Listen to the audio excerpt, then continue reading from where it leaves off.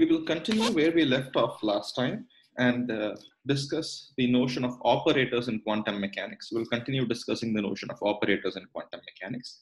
So last time we uh, introduced that operators are basically objects that in the linear vector space that act on certain vectors. So operators act on vectors in the vector space. So let's call some vector alpha. And they give you a new vector that lives in the same vector space alpha prime. Okay. So operators basically uh, do something to the vectors to change the vectors. All right. So operators are very important in quantum mechanics because as I told you last time, simply uh, talking about vectors in a linear vector space uh, might be of mathematical significance, but in physics, we want to study how vectors change as the system evolves in time, right? So typically speaking, you apply a force on an electron and you want to see how the electron responds to the force. So in quantum mechanics, as we will discuss shortly, uh, the state of the electron is a vector in a linear vector space, right? So the question of how does the electron move when you apply this force on the electron is tantamount to asking how does this vector that represents electron change as you apply the force? Okay so we want to understand how vectors evolve in time. We want to understand the dynamical pro properties of these vectors that represent physical systems. So it is very important for us to understand how vectors change with time change with respect to position or just change under some external stimulus. Okay and the objects that effect these transformations are called operators. Operators act on vectors to give you new vectors that also lie in the same vector space. So they should not change, they should not give you something that is beyond the vector space. Okay, otherwise it's not a valid operator.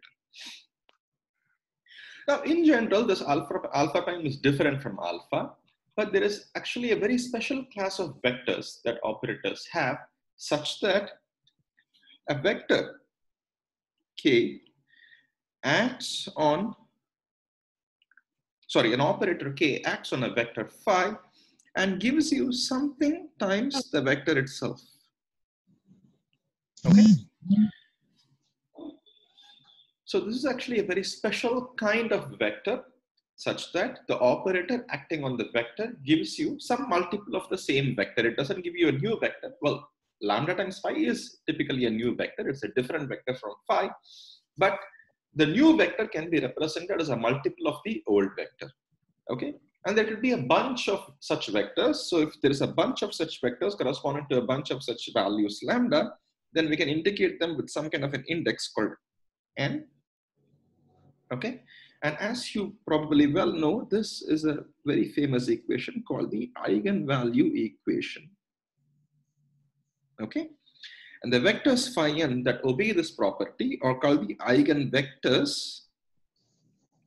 of k and the uh, multiples lambda n are called the eigenvalues corresponding to the eigenvector phi n. Okay, this, is very familiar to you from the uh, theory of the uh, matrices. For example, if you have a matrix, right? So let us say some A1, A2, B1, B2 and some vector v1, v2 equals some, some number, let us say 3 plus i times v1, v2. This is an example in the corresponding matrix space. Okay, so we will stick with the Dirac bracket notation in this lecture, but it's useful to think of uh, the matrices because uh, it, it gives you a very solid way of understanding what's going on. All right. So this is the eigenvalue equation and uh, translated in the space of matrices, you know how to, for example, find the eigenvalues and eigenvectors. Um, there is also a tutorial problem that is due tomorrow that deals with this. Typically, you solve what is called the characteristic equation. Okay, so basically if you have a lambda equals a times lambda as the, uh, or rather a times v equals some a times v as the um, uh, eigenvalue equation, let's call this lambda because it's more commonly employed. Then you start by solving for the lambdas by solving the, for the characteristic equation, which is determinant of A times lambda times the unit matrix is equal to zero. And solving this equation will give you lambda, the eigenvalues. Please zoom the screen. Is this better? So somebody asked me to zoom the screen. So hopefully this, this is better for you. Okay. Now solving for the eigenvalues, then you plug this back into the eigenvalue equation. For each lambda, you can get a corresponding eigenvector. I will not repeat this calculation here because it is done in almost every uh, high school or a BSc level, but we will also go through a tutorial problem tomorrow, sort of to revise this concept. So we will uh, import the same concept in a more abstract notation uh, using the Dirac bracket uh, language that we have developed in, in, the form of the equation that I've written. K operator acting on a ket phi n gives me lambda n times the phi n itself. Okay. Now the reason I'm introducing the notion of eigenvalues and eigenvectors is because this is of fundamental importance in quantum mechanics, particularly in the context of Hermitian operators. So remember that Hermitian operators that we discussed yesterday Hermitian operators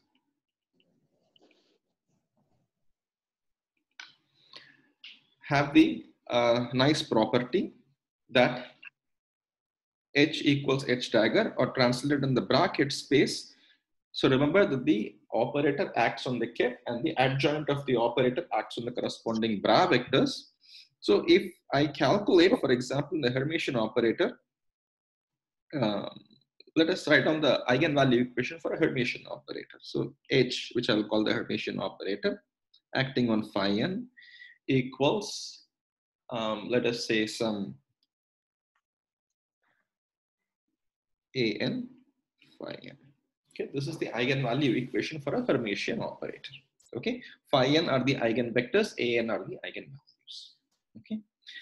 There is two important properties that concern Hermitian operators and the eigenvalues and eigenvectors that I want to talk about briefly because this will play a fundamental role in quantum mechanics, particularly in the uh, idea of measurement in quantum mechanics. The first rather very important point is that the eigenvalues of a Hermitian operator are real. Regardless of whether, remember that the operator itself can have complex entries, but as long as the operator is real, uh, as Hermitian, its eigenvalues are guaranteed to be real. How do I see that? It's actually quite straightforward. So let us take this equation that um, I have underlined here. Okay. So the phi n's are the eigenvalue equation. Let us calculate the matrix element. Let us calculate this quantity phi n h phi n. Okay. Now what is this quantity? So remember that I invite you always to think of this as a matrix element, which is basically the bra phi n. You can think of this as a row vector. You can think of this as a column vector. And you can think of this as a matrix. Okay. Okay. So if that aids you, otherwise you can simply stick with this abstract uh, notation also. Now, how do you evaluate this quantity? Well, you evaluate this quantity by claiming that H acts on phi n and H acts on phi. So the Dirac bracket notation, I'll rewrite this actually because this is not very useful the way I've written it. H acting on the eigenkets an equals an acting on the eigenkets an. This is more useful. Okay, all right. Now H acting on the eigenket phi n gives me an times phi n. So this is equal to, oops, phi n, a n, phi n, but an is just a number. So I can pull it out of the ket and write this quantity as an phi n, phi n. Okay. So I hope everybody understands this manipulation. If there is any questions, uh, please stop me and ask. Okay. So remember that you can always unmute yourself at any point and talk. If not, you can always type it in the chat also. But if H is a Hermitian operator, there is actually another way I can evaluate the same matrix element. Remember that if H is Hermitian, it doesn't matter if I act this H on the ket on the right hand side or if I act H dagger on the bra on the left hand side because H is the same as the action of H is the same as action of H dagger. So phi n H phi n can be written as also so the way you interpret this usually is phi n times the ket h phi n right? That is how we have uh, calculated this guy. For example we have acted h on the right and uh, used the eigenvalue equation and written this in a very simplified form. But if h is hermitian then I can write phi n h phi n with the h acting on the left also because h is the same as h dagger. So I can write this quantity as, excuse me, h phi n phi n. Okay. If h is not Hermitian, I cannot write it in this form. But if h is Hermitian, h is h dagger and h dagger acting on the left can be written as the bra h times phi n. So if you're confused, go back to uh, our discussion last week where we talked about this, right? So remember that K dagger acting on the bra alpha, we have uh, introduced the notation where I, where I can write this as simply the bra K alpha. That is exactly what I'm doing here. Since H is equal to H dagger, H dagger acting on the bra phi n on the left can be written as the bra H phi n. But this is equal to H phi n is again A n phi n phi n. But remember that bra a n phi n, bra a n phi n is equal to a n star bra phi n. Okay, so viewed this way, phi n h phi n is equal to a n star phi n phi n. Okay, now I want you to look at equation number one and equation number two. Okay, they are both the same quantities. The first equation tells me that an times the overlap of phi n phi n equals an star overlap of phi n phi n. And this obviously implies that an equals an star. So if a, if a number is equal to the complex conjugate of the same number, it simply means the imaginary part of the number is zero. Okay, so this simply means that an is a real quantity. So the eigenvalues of a Hermitian operator are real quantities. Okay, so is there any question uh, in this manipulation that we have done in this uh, sort of a proof of uh, the realness, reality of the eigenvalue of Hermitian operators? Any questions or any comments that you have? This is the first property of Hermitian operators that is very crucial in quantum mechanics. The second property of Hermitian operators that is very crucial in quantum mechanics is eigenvectors of a Hermitian operator corresponding to distinct eigenvalues are orthogonal to each other. What does this mean? This simply means that let us take two different eigenvalues and eigenvectors. So let us say that the operator H has an eigenvalue uh, an corresponding to the eigenket phi n and it has an eigenvalue am corresponding to the eigenket phi m and n is not equal to m. Okay. We'll give a solid uh, example of this as we move along. But let us say that, so there is some 2 by 2 matrix with two distinct eigenvalues. And this 2 by 2 matrix, let us say, is a Hermitian matrix. Then the claim is that phi n and phi m are orthogonal to each other. In the bracket language, this simply means that phi n, phi m equal to 0.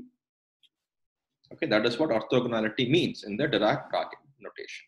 How do you see that? To see this, start with this eigenvalue equation. H phi n equals a n phi n. Okay. And then multiply by the bra phi m on the left. Multiply by phi m. Okay. Now the left we have the matrix element phi m h phi n and the on the right we have a n phi m phi n. Okay. Now on the left, again, I can use the hermiticity of H to write H as H dagger and H dagger acts on the bra phi m. So I can write this as H phi m phi n equals A n phi m phi n. Okay. But H phi m is nothing but A m phi m because A phi m is also an eigenket of the operator H. So this can be written like this. Okay. Now, again, bra am phi m is equal to am star phi m. But since we are dealing with Hermitian operators and since am is an eigenvalue of the Hermitian operator, by the first property, am is a real quantity. So this is nothing but am phi m. Since am is real. Okay. So am star is nothing but am. So if you plug this in, you actually find that on the left hand side of this equation, I have am phi m phi n. On the right hand side of this equation, I have am phi m phi m, which I can write as am minus am phi m phi n equal to 0. Okay, so this tells me that phi n phi n equal to 0 if m is not equal to n. This is actually a wonderful property of Hermitian operators and Hermitian matrices because if the eigenvectors of a Hermitian matrix are automatically orthogonal to each other, now it's actually a trivial thing to actually normalize all the eigenvectors. So I can always manipulate the eigenvectors, normalize the eigenvectors such that the eigenvectors are normalized. Phi n phi n is equal to 1. And the property of hermiticity of the operator guarantees that phi m phi n is equal to 0. So I can combine these two equations and write that phi m phi n is delta mn, where phi m are the eigenvectors of a Hermitian operator.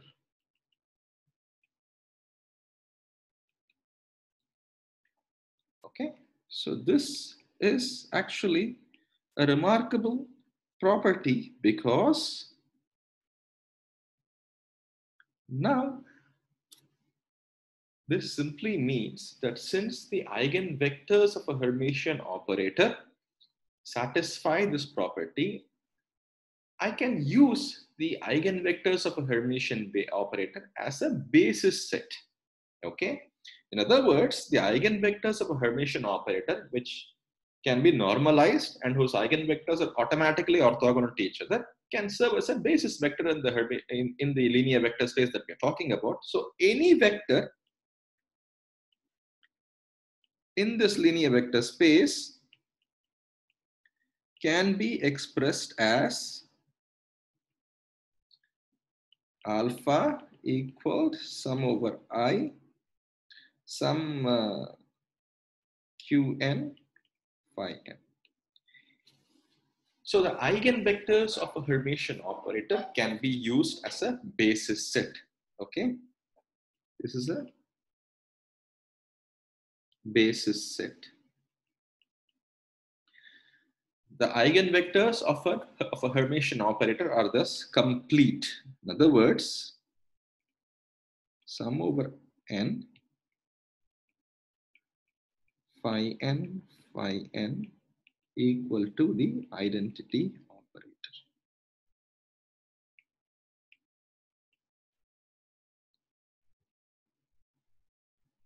Okay.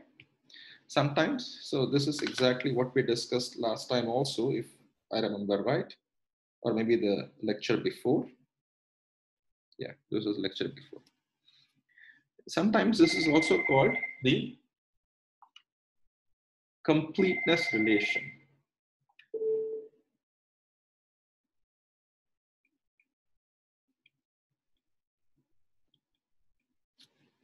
Okay. This tells you that the, eigen, the eigenvectors of a Hermitian operator form a complete basis set. Okay. In other words, this is, this is telling you that the eigenvectors of a Hermitian operator are complete as a basis set. So this is called the completeness relation. So there are two properties of the Hermitian operator that are very important in quantum mechanics. The first property is that the eigenvalues of a Hermitian operator are real quantities. The second property is that the eigenvectors of a Hermitian operator can be used as a basis set. Okay, so I can write any other vector in the in that particular um, linear vector space as a linear combination of the eigenvectors of a Hermi of the particular Hermitian operator. Okay. So I'll move on to some a specific example. But before I do that, are there any questions about any of this? Any questions or any comments?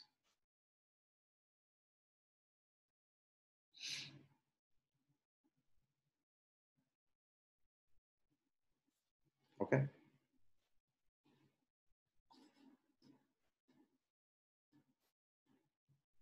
Sir last two terms, વાપસ explain કરી દો sir can you explain the last expression? Okay, so remember that we talked about this completeness in the context of uh, basis vectors. And recall that I had written down that if you have basis vectors EI, okay, oh, this is actually conked off, so I'll stop sharing and share it.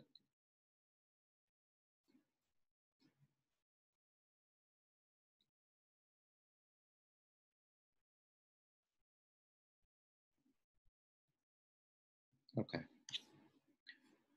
So if we have a set of basis vectors, and if, if, if the basis vectors satisfy the property that EI, EI equal to the identity operator, then it means that the set of basis vectors EI that you have are a complete set of basis vectors. Okay.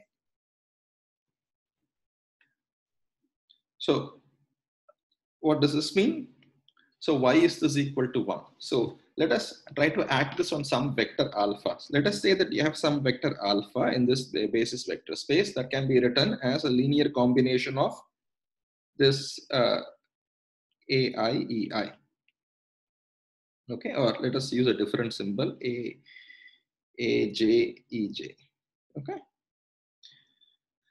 Now, what does this operator relation mean? So act this operator as I told you by itself is meaningless. So you have to act it on some vector to understand what it does. So let us act it on this vector alpha, which is aj, ej. Now what is this? This is equal to sum over i and j, ei, ei, aj, ej. Okay. Now aj is just a number, so I can pull it out. ei, aj, ei, ej, okay? And since this is an orthonormal set of basis vectors, EIEJ overlap is just the Kronecker delta, delta ij. So in this double sum, one of the sums goes away because the only value of j for which this is non-zero is j equal to i or I, I equal to j. So I can write this as sum over j, aj, ej. But sum over j, aj, ej is nothing but the vector alpha so we conclude that the combination EI, EI, the operator acting on alpha gives me the same vector alpha, which means this guy has to be the identity operator. Okay. Now we can turn this argument around on its head and claim that any set of vectors that satisfy this relation, this operator relation uh, that we have written down here, ei ei equal to 1 is a complete set of basis vectors. Okay. So basically any set of vectors that satisfy this relation can be used as a basis set in that particular linear vector space. That is all I'm trying to say. Okay. Niyati asks, why do we write h on the left-hand side of the bra phi n? Shouldn't be written on the right, right of the bra vector. So this is just a notation, Niyati, and I'm sorry this can be a little confusing. So this is what I mean. Suppose if you have an operator k, okay, that acts on some vector alpha, then k has an adjoint operator that acts on the corresponding bra vectors, right? So there is a alpha that acts, sorry, there's a k dagger that acts on alpha. Okay. Now there is a shorthand notation for this that I'm employing. I'm simply calling this k alpha. And there's a shorthand notation that I'm employing for this. I'm calling this bra k alpha. That is all. Okay. So this is just a notation. So yes, you're absolutely right. The uh, bra vector acts on uh, the, the uh, adjoint operator acts on the bra vector on the left. Okay. Suppose if I have a Hermitian operator and I have something like phi m h phi n, I can view this in two different ways. Because h is Hermitian, this is the same as phi m h dagger phi n because h equals h dagger, right? Now, in the left-hand side, I can think of h as acting on the phi n on the left. So I can write this as h phi n.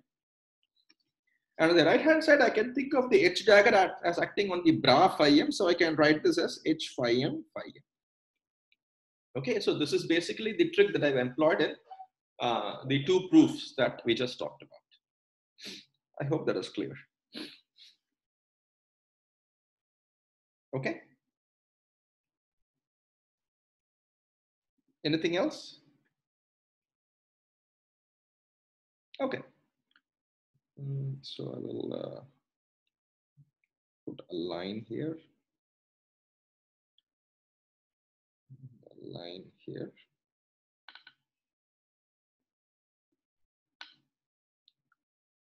Okay, now we will continue with a simple example that uh, should hopefully help you understand these manipulations a little bit. So I will consider the example of a spin half system.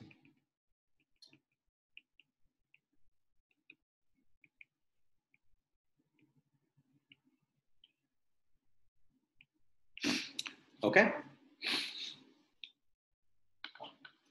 So again, as I told you in the very beginning, even though I'm using this as a simple example, spin itself is a very difficult question to explain at this juncture. It's, an intrinsically quantum, me quantum mechanical notion. Um, but it, the, it, it, it's spin half is a very convenient system because it's a two-dimensional linear vector space and I can simply use it as a very uh, cute example. So if you have not seen this before, there are three operators, also called three Pauli matrices in this uh, spin half system. Uh, we roughly call this X component, Y component, and Z component, even though this is a bad notation. Uh, S1, S2, S3 would be a much better notation, but let us stick to it. So uh, SX, SY, and SZ. Okay, there is, let us say, three operators. Okay, you also know what the form of these operators is. Sx is given by the, this is the uh, first Pauli matrix. H bar over 20110 sy is the second Pauli matrix. H bar over 20 minus i i0 and sz is h bar over 2 1 0 0 minus 1 okay? So we roughly say that sx measures the x component of spin. Sy measures the y component of spin. And sz measures the z component of spin even though they are uh, even though the x, y, z have nothing to do with the spatial dimensions. Okay, spin is in a very very different linear vector space rather than the spatial coordinates. Okay, so this we will talk about when we talk about angular momentum in detail in the next semester. For now, I just want to use it as a linear vector space example. So what do I mean? So let us take the example of SZ because that is the one that is more commonly employed. Take ASZ. Now, First, a quick check will tell you that all three Pauli matrices are Hermitian. Okay, Sx dagger is Sx, Sy dagger is Sy, and Sz dagger is Sz. So all so this and there is two different eigenvalues and two different eigenvectors for these operators. Now I can take any one of these three operators and I can write it and I can write down the eigenvalue equation for it. Okay. And I will get two eigenvalues and two eigenvectors. Okay. So let me take the example of SZ and I will call the two eigenvectors and two eigenvalues as plus minus. Okay.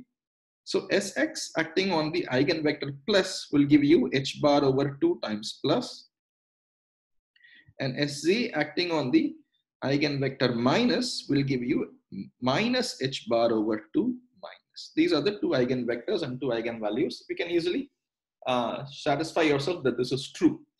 Okay, in the row, uh, row vector notation, plus corresponds to 1, 0 and minus corresponds to 0, 1. Okay, this is also sometimes referred to as spin up and spin down and some books also employ this notation, right? Plus, minus as this, but I will not do this because it's rather difficult to draw arrows, that is all.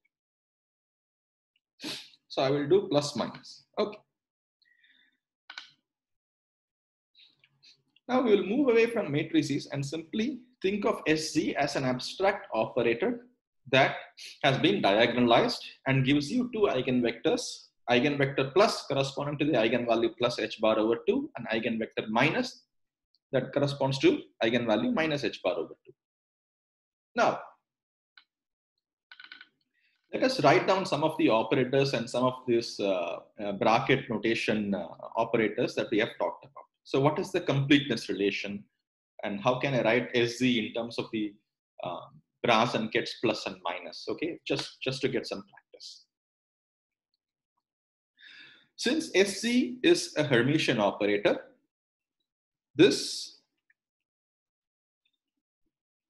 plus minus is a complete set of basis vectors, right? This is a complete set of basis vectors. This means that plus plus equals minus minus equals 1 and plus minus equals minus plus equal to 0. The first line tells you that the plus and the minus have been properly normalized and the second line tells you that the plus and the minus are orthogonal eigenvectors. Okay. All right. So what is the completeness relation? Completeness relation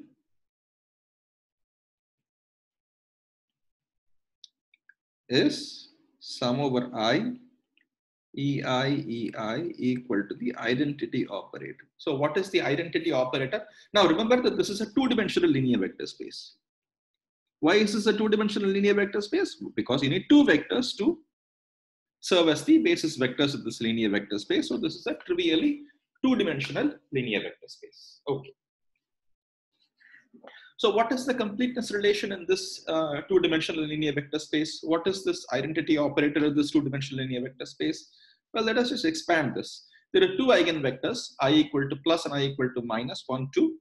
So the completeness relation in this is identity operator is equal to plus plus plus minus minus. Okay.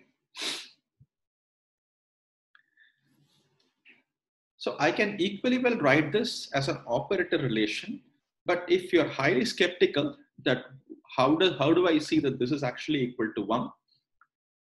So we can always try to understand the components of this operator. In other words, the matrix representation of this operator.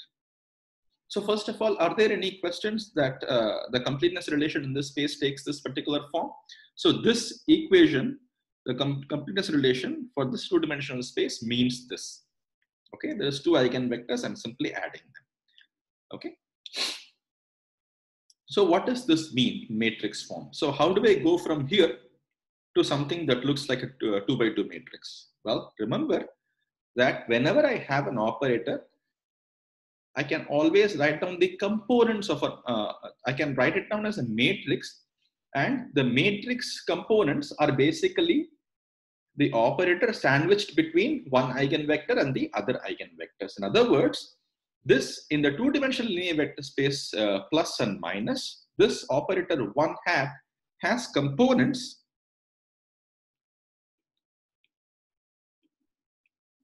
matrix form has components plus sandwiched between the operator and plus on the, le on the left and minus on the right, minus on the left and plus on the right, and minus on the left and minus on the right. These are the four different components of this matrix, right? If I were to write this identity operator as a matrix, then this is how I would write the matrix. Similarly, I can write down, okay, let us actually evaluate this completely before we move on. Okay, what is this? What are the components? Well, we know the form of one, right? We know how one looks like. So this is my identity operator in this two-dimensional linear vector space. So let's work out the components of this matrix that represents this identity operator. Well, you already know what the answer is. The matrix has to be 1001, but let us actually work it out laboriously. So what is plus 1 plus? I should sandwich plus on the left of this operator and plus on the right of this operator. So this is plus plus minus minus and the right I will sandwich plus. What is this? This is bra plus and this is ket plus. So I can write this as plus plus. And this is, this uh, plus acts on the right of this plus. So this is plus plus, that is the first term. The second term is this plus hitting this bra minus on the left, sorry, ket minus on the left. So this is plus minus. And the second term is this plus hitting the bra minus from the right. So this is the second term.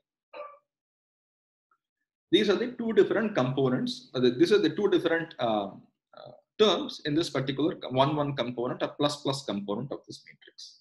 Are there any questions about this? Is it clear, the manipulation? So you're sandwiching the operator between a row vector and a column vector.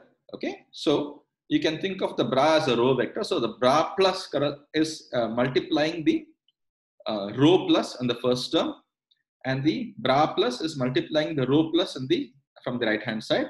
In the second term, the row vector plus is mul multiplying the column vector minus, and the row vector minus is multiplying the column vector plus. But since these correspond to an orthonormal set of eigenvectors, the overlap plus minus and minus plus is equal to zero. So this term is zero. And the overlap plus plus is equal to one. So this term is just number one. Let us push ahead and also calculate the second component minus.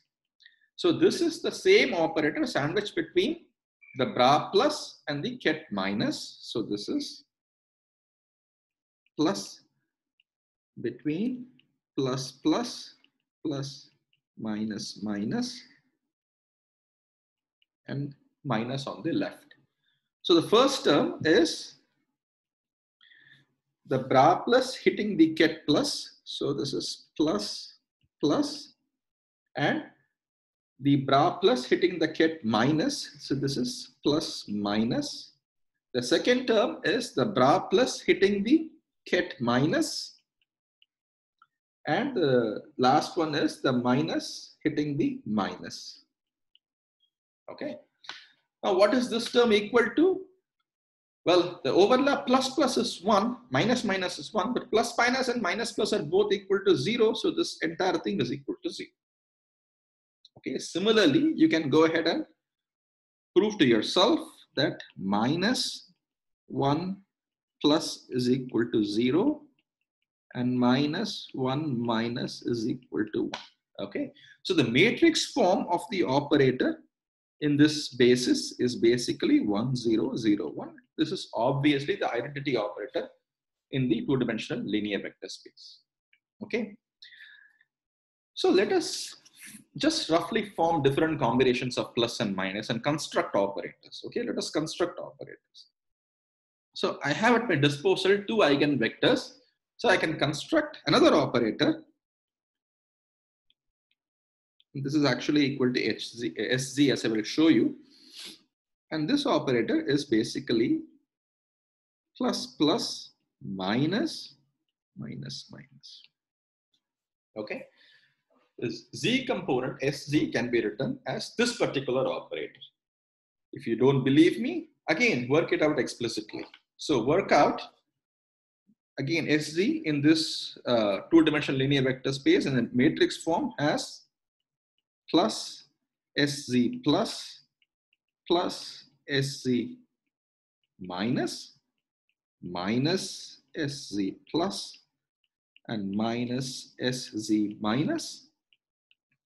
And to work out what the matrix corresponding to this abstract operator SZ is, simply work out all the different components of it. So let us work out the 1, 1 component, plus plus component.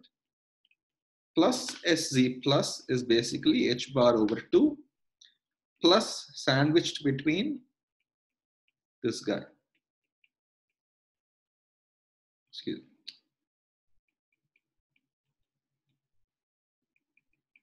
Okay. So this is h bar over 2. The first term is plus plus plus plus and the second term is plus minus minus plus. Okay. Again, this term is equal to 0. So this term, the 1 1 component is simply equal to h bar over 2. Okay. You can keep evaluating this, all the different components, and you can prove to yourself that SZ in this linear vector space can be written as the matrix H bar over 2, 1, 0, 0, minus 1, which is what we began with anyway, okay, right here. Now you can do the exact same thing for Sx and SY, but uh, instead of uh, forming other combinations, let us actually form uh, this particular combination of operators. Instead of just multiplying always the plus and the plus or the minus and the minus, let us suppose, suppose if we do something like h s plus equal to, let us say plus and a minus. This is also an operator because this is neither a number nor a row vector. This is actually a matrix with four different components. Again, I can work out what the components are. So this is actually a homework for you. You should work out, and I can also write down S minus, which is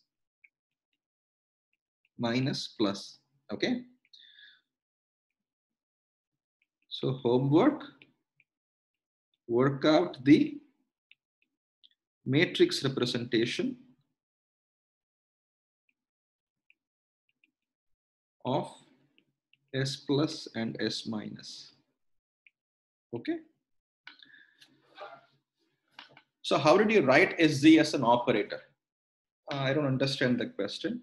Oh, so the question is, how did I know that this was this particular, uh, this was this particular form, right? So how did I know this, that this was, well, this is basically a combination of uh, guesswork and uh, the fact that I already know what the matrix representation of that operator is.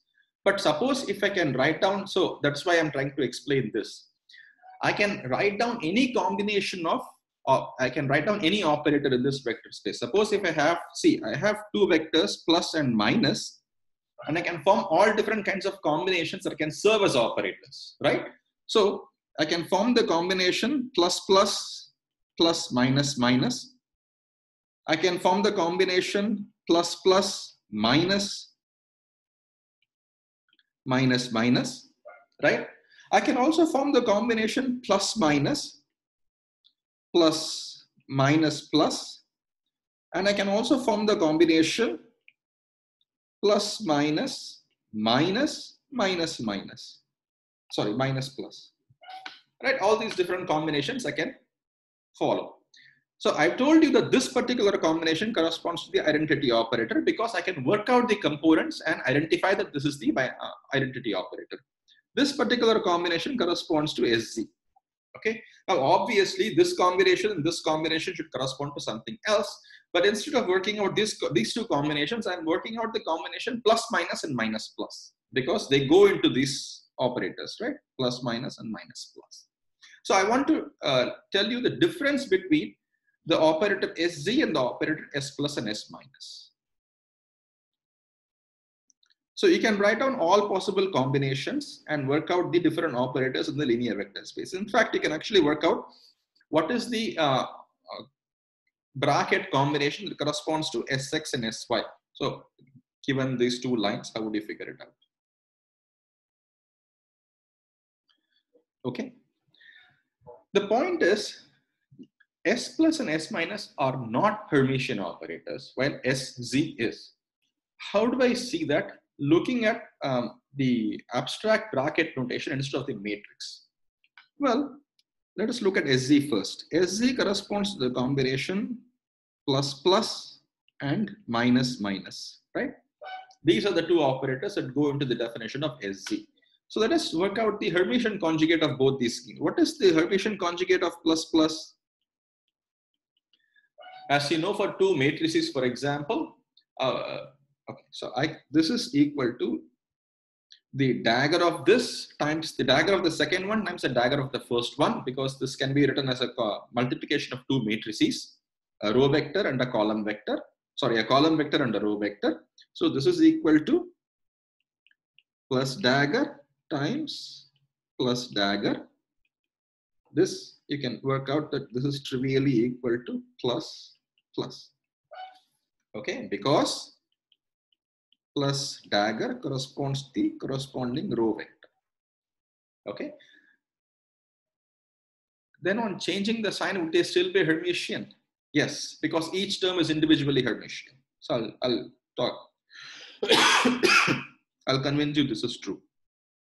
Okay, so let us erase this part and write down S properly.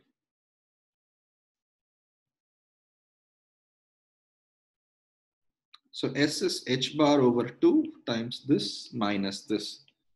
So SZ dagger would be, now this is just a number, plus plus dagger minus minus minus dagger. Okay, and this is equal to plus plus dagger is the same as plus plus minus minus minus dagger is the same as minus minus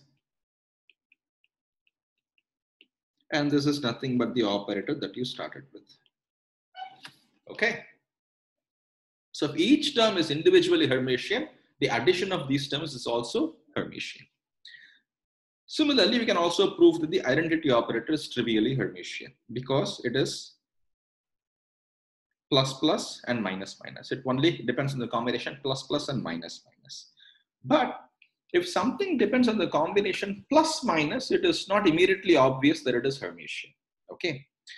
So if I look at the operator, let us say S plus plus minus, this is not Hermitian because S plus dagger is H bar over 2. The Hermitian conjugate of this is this and the Hermitian conjugate of this is this, right?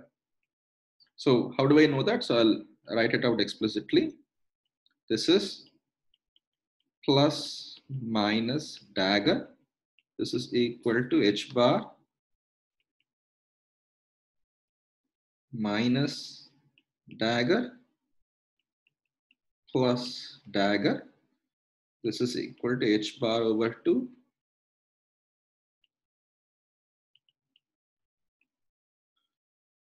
the dagger of the uh, row vector minus is the column vector minus and the dagger of the column vector plus is the row vector plus and this is not equal to S plus. Okay, so S plus is not Hermitian. In fact, S plus dagger is equal to S minus.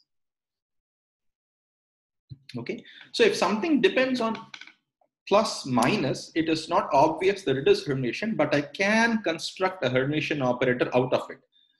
Const for example, look at h plus, sorry, h bar over 2 times plus minus plus minus plus. Okay, this operator is Hermitian, even though it depends on the combination plus minus because the Hermitian dagger of the first quantity would be the second quantity, and the Hermitian dagger of the second quantity would be the first quantity. So the addition of these two would give you the exact same operator back. Okay, and you can prove to yourself this has to um, be equal to one of the other operators, Sx or Sy, whatever it is. Sx probably. Okay. So you should be conversant with the Dirac bracket notation and how to write down abstract operators using the Dirac bracket notation. We will also solve a tutorial problem tomorrow regarding this.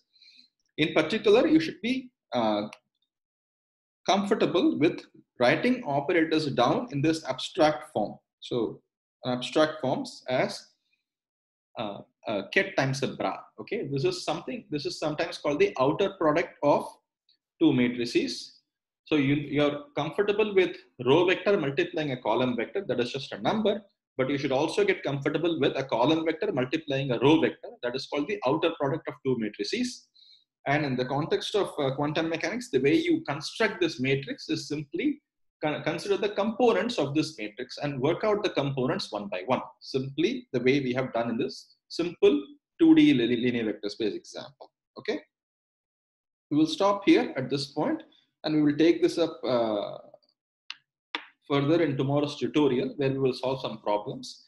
And after that, we will switch gears and we will talk about um, uh, function spaces because I want to go on to the concept of infinite dimensional linear vector space. Okay. So are there any questions or comments that you have at this stage? So the formal lecture will stop at this point.